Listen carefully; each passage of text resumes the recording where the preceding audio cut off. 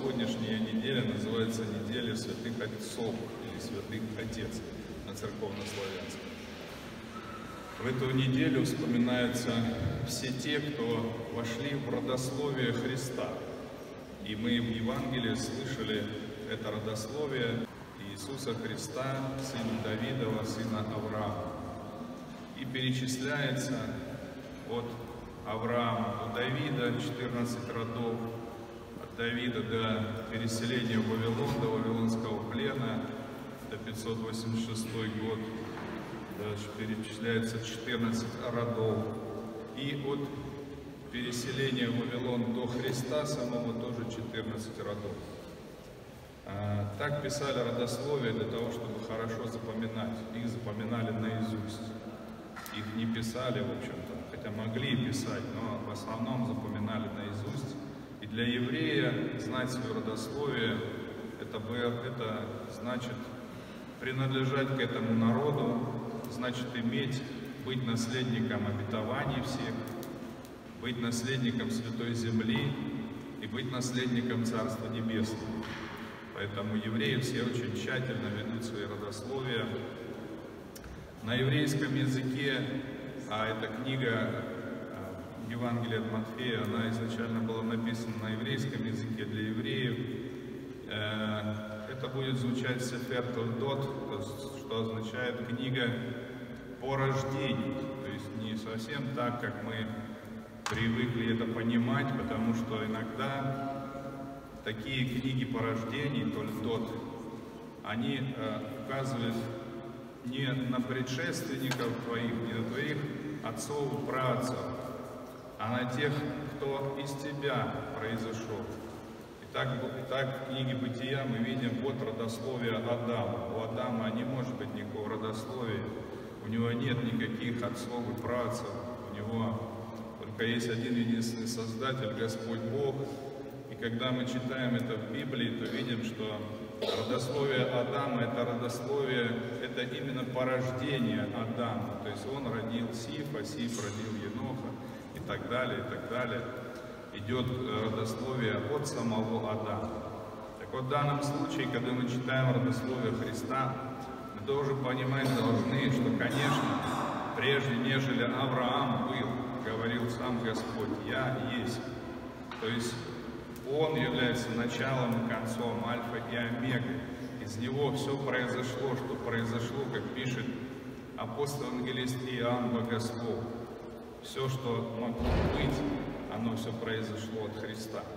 И поэтому родословие Христа – это не только его отцы и праотцы, но и он сам является началом этого родословия. Сегодня в э, апостольском чтении послания к евреям мы тоже слышали об этом же.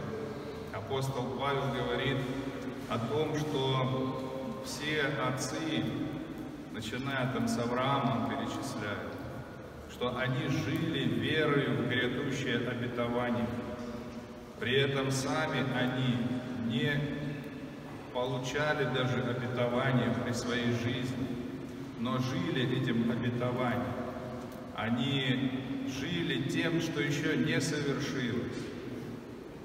Но то, что уже совершилось для нас сейчас, это рождение в мир Спасителя. А они жили этим и не получали обетования. Об этом сегодня много-много говорит в своем послании апостол Павел.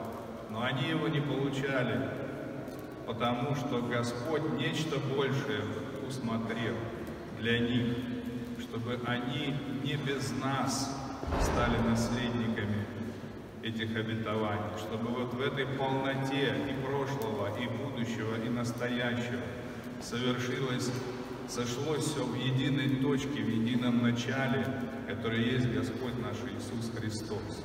И в этом, конечно, великая слава. Рождество Иисуса Христа, Его родословие – это для нас великая радость потому что таким образом Господь вписывает всех нас в свое родословие, в этот Сефер Тольдот, книгу жизни. И на самом деле, когда мы слышим Библос, Генезис, это та же самая книга Бытия. То есть все Господь творит для того, чтобы мы были с Ним, чтобы мы были с Ним нераздельно и неразлучно, чтобы мы были вписаны в Его родословие навсегда, чтобы Он стал нашим новым Адамом, от которого все мы рождены, и рождены не для того, чтобы умереть, но для того, чтобы иметь жизнь вечную.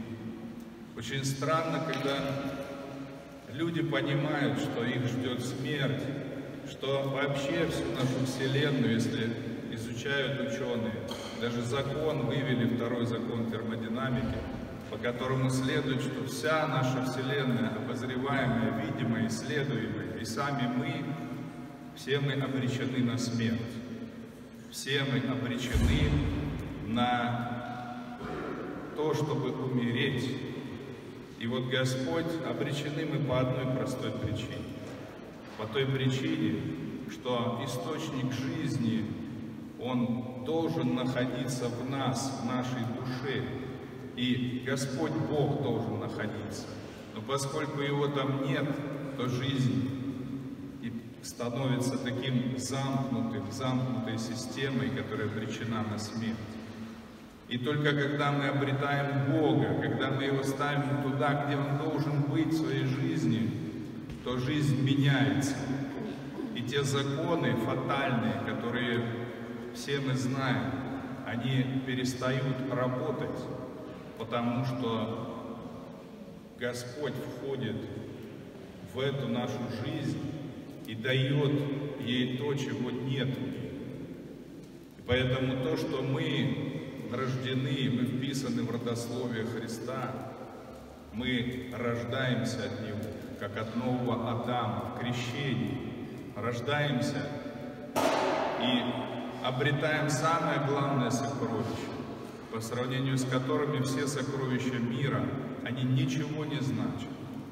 Абсолютно ничего, потому что мир стремится к тлению, а Христос дает нам жизнь, которая не тлеет, которая, как, как говорится, сокровище, которое невозможно украсть, где воры не подкапывают и не крадут.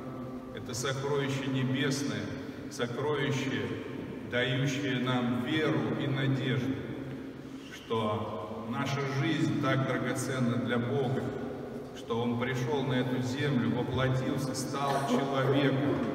Он стал человеком для того, чтобы соединить нас с собой, чтобы мы стали рождены от Него, как от нового Адама. Именно сегодня, в этот день, праздник имеет такой смысл. Смысл Рождества Христова, смысл Его книги Рождества, книги порождений.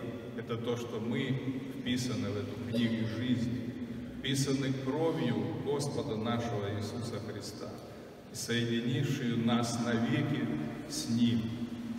С праздником вас, дорогие братья и сестры, с неделей святых отцов.